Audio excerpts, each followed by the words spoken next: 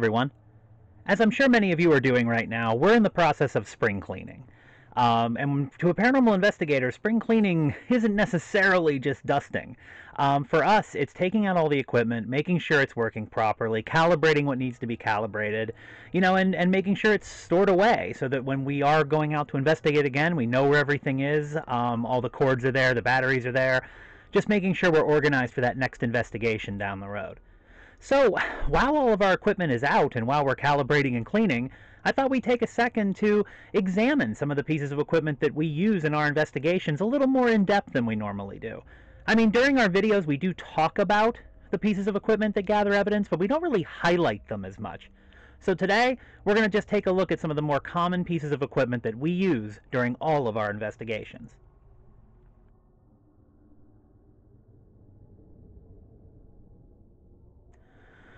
So starting with video cameras, starting with the video and, and the digital photos that we take, about 90 to 95% of everything that we do in terms of capturing visual evidence is done on these.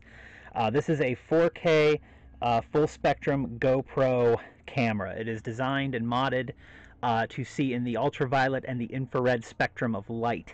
Uh, these are two spectrums of light that we cannot see. That's why it has that purplish and pinkish hue uh, when you see it on the screen.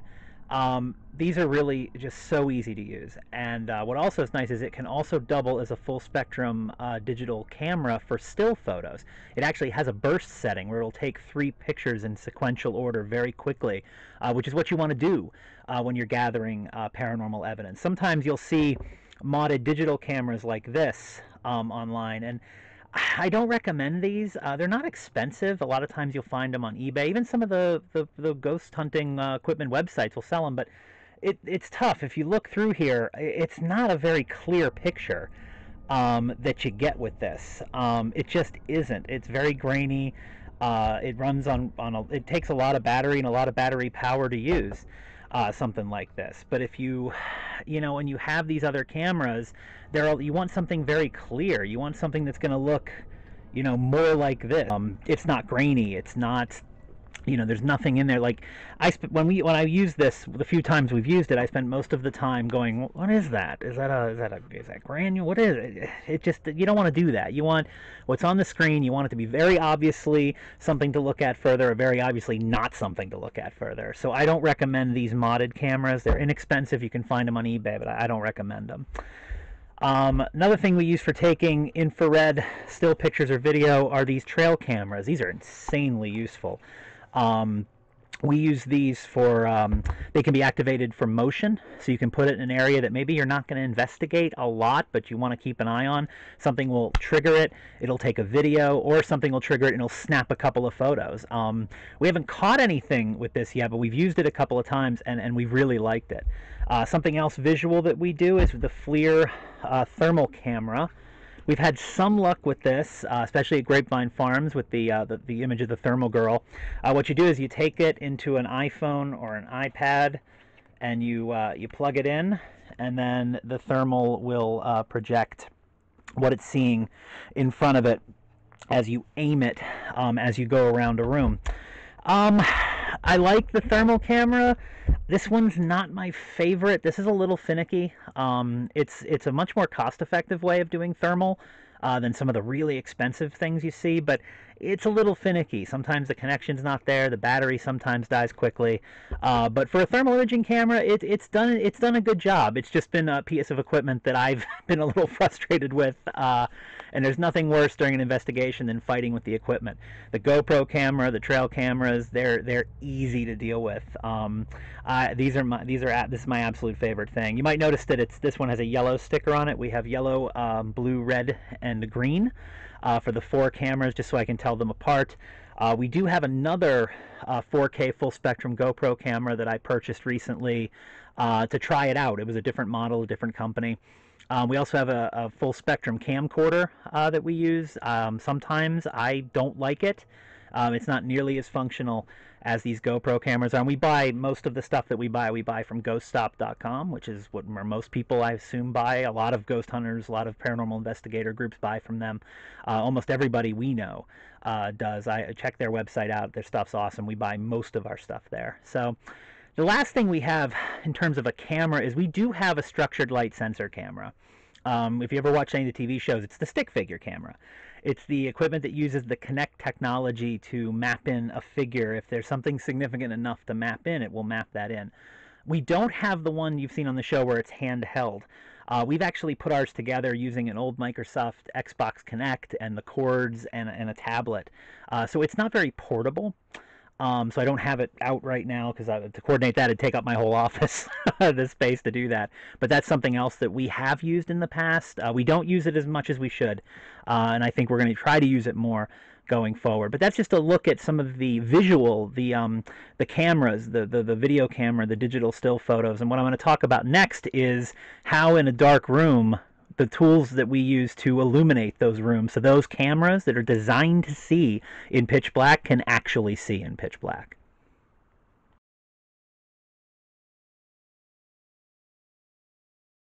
So as I've said, this is an amazing camera. Uh, but it does have a problem. Uh, yes, it can see in the ultraviolet spectrum. It can see in the infrared spectrum, but without the correct source of light, it can't see anything. Um, without an IR floodlight, without UV light, it would look just as dark as a photo as if you were taking it with your cell phone in a pitch black room. So how do we do this? Well, the most common one we use on our whenever you see a camera that's a sta- that's a stationary camera, we use this. This is a 90 foot IR floodlight. Uh, one of these illuminates the entire room in almost every clip you've ever seen us put online. This is a 10 Deluxe model. Um, bought it. Uh, you know, it's interesting. I buy all my equipment uh, from like a Ghost Stop or, or, or, a website like that. I tend to buy the accessories from more common places, whether it be an appliance store or, or even online, uh, mainly because the accessories seem to be less expensive um, from a from a traditional retailer than they are from the specialty paranormal ones. Whereas the equipment is what you should get from them. But as the accessories now, we've got about six of these. They're not that expensive, but we put these on a bar with those cameras, and they light up every room. Now, if the room is bigger, um, you, there are other options. This is a 110 foot um, IR floodlight. Uh, that we'll use to light up a larger space because while that while this floodlight is very nice, um, it does have a limitation. It's not as wide, um, whereas this is much wider. This is a much wider floodlight. Now, if you want to go to a big room, a big room, this this baby is a 200 foot uh, IR floodlight that'll light up anything. It'll look like a baseball stadium with how much it'll be lit up. Um, all of these things are plugged in through an adapter that can plug into a wall. But these they make these neat adapters that, that aren't expensive um, these will you can plug in through the through the um, the outlet. You plug them in as you would an adapter, but it's actually a 9 volt uh, battery. Uh, very helpful uh, since not every place that we investigate has power. Um, it's very helpful to be able to hook up a 9 volt, and you can do that on any of the any of the floodlights that we have uh, for that situation where there either isn't an outlet handy or the place just doesn't have power. Uh, yeah, there are other options for battery-powered uh, lighting. Uh, these, this is a battery-powered IR light and UV light. On the back here, you can actually put a 9-volt battery, and you turn on one, you get, excuse me, you get infrared. You turn on the other, and you get UV. Uh, this is also something like that with a 9-volt in the back, except this is a wide angle. So when you have this one, it's going to look more like a spotlight when you have this one, it's going to be more of a look more like a floodlight. Um, and these are the pieces of equipment that we use uh, to make it so that we can see and you can see uh, when we show all our evidence and we watch all our footage. Without these things, without these IR floodlights and these UV lights, we would be completely in the dark.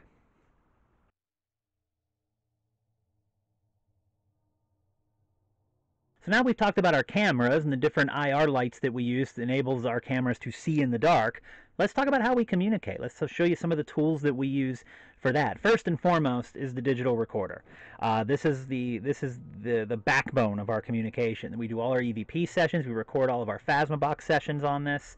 Um, this is where the vast majority of our audio evidence, uh, this is where we're looking to capture it on. However, I will point out that our, our cameras that we use, our video cameras do have microphones, and we do pick up a lot of EVP evidence um, on those cameras. Uh, but this is this tool is used in most of the tools we're gonna, I'm going to show you. This is used with it to make sure that we record it. So we can't do Phasmabox, we can't do Spiritbox without using this. We can't even use Ovilus without using this, because this is where we're going to um, to gather that information and to, to, review it and to listen to it later. So this is key. Now we use these like these Olympus recorders. Uh, this is what we use uh, I've had a lot of luck with these, really easy to use. The worst thing in the world is to have a complicated piece of equipment when you're fumbling around in the dark trying to get it to work. This thing, two buttons, on, off. And the coolest part about this for evidence review is it has this button on the back, USB pops right out, you pop it right into the computer, downloads everything. No fuss, no muss, don't have to mess with any cards. I, these recorders are fantastic. We highly recommend them. Uh, the most second most common thing that we use for audio evidence is the Phasmabox. Um, this is a piece of equipment that is very popular. Uh, we love it. I made an entire video on, on how this works and, and why we like it and some of the best pieces of evidence that we've captured on this. Uh, but again, what the Phasma Box does is it uses sound bars and it puts those out there in the electromagnetic field and allows spirits to manipulate those sound bars to create an intelligent conversation, real time, intelligent, a lot of the time, responses. Um, there's a lot of reverb with this, um, but we've gotten so many intelligent responses with it. And also, what has happened is occasionally we'll pick up, this will say something, and then on the recorder we'll capture an EVP that repeats what the Phasmabox just said, uh, which is great. When one piece of equipment validates another, oh, that is the best. The next communication tool I want to talk about is the SB7 Spirit Box. You can probably hear it going. Um, this is a pretty popular tool. If you watch a lot of the paranormal shows, they use this a lot. And what it's doing is it's scanning uh, radio stations. It's scanning about 10 per second. And what it's doing is it's creating a white noise, which is easier for spirits to communicate in. That's the theory behind it. Um, we use this occasionally. We haven't had a lot of luck with this. We actually have two of them. Uh, the SB box, which has a built-in uh, a memory card. Um, don't like this one very much. This one's all right. This one I'm good with. Uh, we, we're going to use this more. Um, a lot of people have a lot of success with it. We just haven't yet. Um, but we're just going to keep using it because you know that's what you do. Is if you have a piece of equipment that doesn't catch evidence one day, it might capture the gold, capture the gold mine the next day. You never know. So we're going to continue to use it, but um, you probably haven't seen it a lot in our videos because we just really haven't caught anything with it yet. And the final piece of communication equipment I want to talk about is the Ovilus. Uh, everybody loves the Ovilus. Uh, this is a phonetic generator. What it does is it puts out a dictionary, about 500 words, out into the electromagnetic field and allows spirits to select uh, words from that dictionary. We have received a lot of very relevant words over the years um, through this piece of equipment. Uh, we've we've gotten some ominous words uh, through it. Um, you know, things that we looking back were like, oh, it was trying to tell us something. Um, so you, you, get a lot of great great words through that. The only thing is, it doesn't it doesn't have a um, it doesn't record the screen so much. So we sometimes it does speak the words when it comes. So that's again the recorder uh, comes in handy for that. But the nice thing about the Ovilus is there's a log in it that keeps track of all the words that came up because over the course of a night you could get a lot of words on it. Um, so it does keep track so you can go back and, and, and see what words came up. If you didn't catch it on recorder, you didn't catch it on camera, you can still catch it, uh, which is helpful. The only thing about the Ovilus is um, it's a little finicky around electronics. As, as you it, it makes sense it would be. Uh, you get it close to something electric it's going to start throwing words out because something around it is manipulating the electromagnetic field. Uh, so you can get some false positives that way so you have to be very careful uh, when you are getting a bunch of words at once to make sh- to just know the environment know that you know is it a spirit or is it something on the outside uh, which, to be honest, is how you should look at every piece of evidence anyway, whether it's audio, visual, or in the Ovilus. But it, but we love this thing. Um, it is my favorite piece of equipment, uh, probably the most expensive piece of equipment too. Uh, but we use it a lot, and we've gotten a lot of great results from it.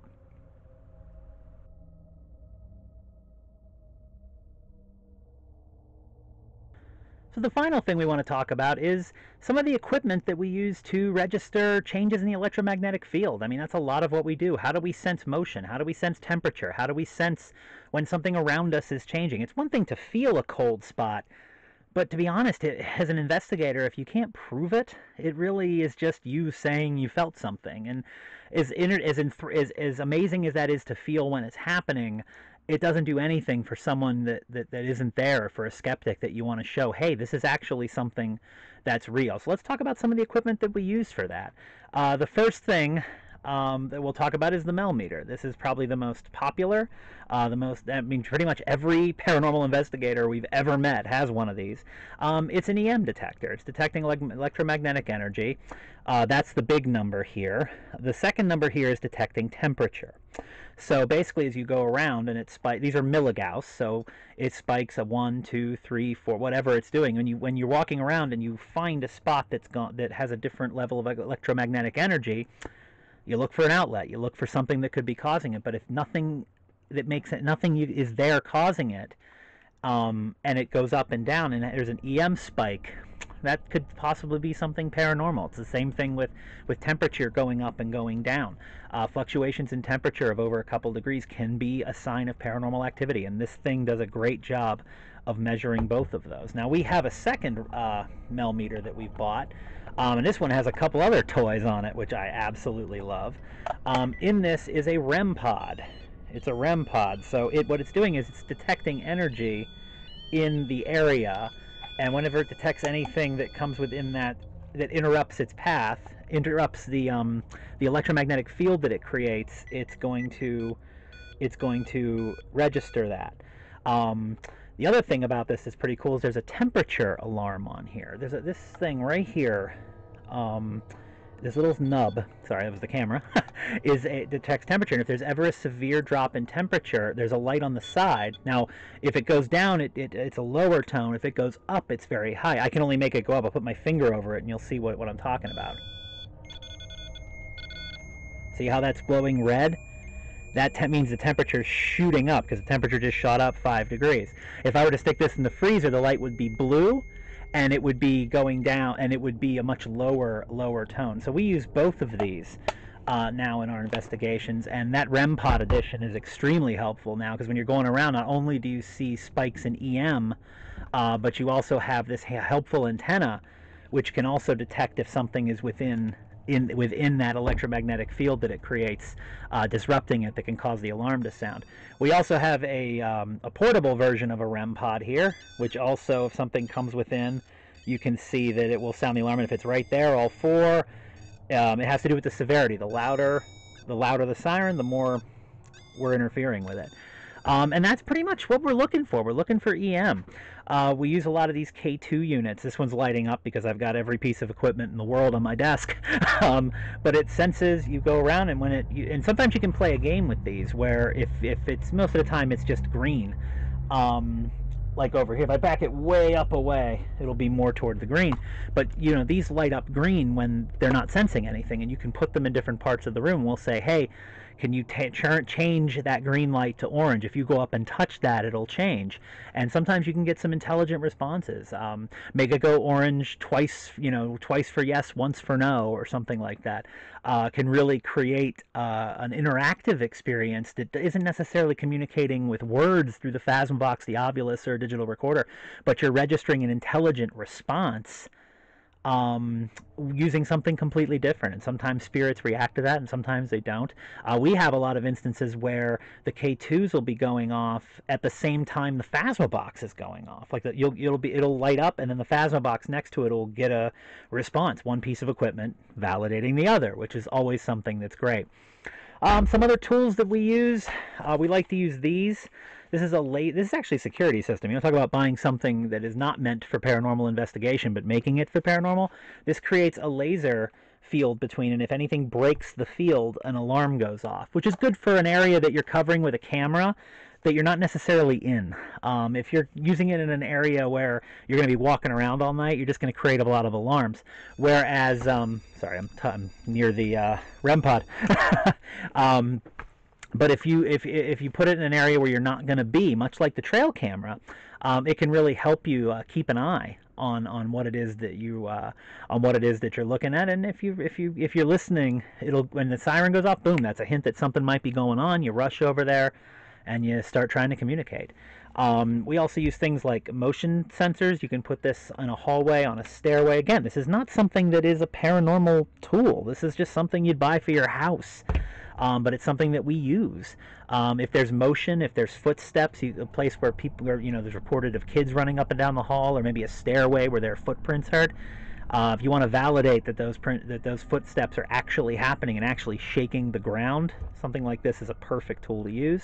So that, but those are just some. Those are some of the main pieces of equipment that we use uh, to register activity, to to sort of validate the science of the temperature changes, the EM changes, just to help us, uh, you know, get some validity and some proof uh, that what we're experiencing and what we're seeing is actually happening. So there you have it. I turned my spring cleaning into something useful.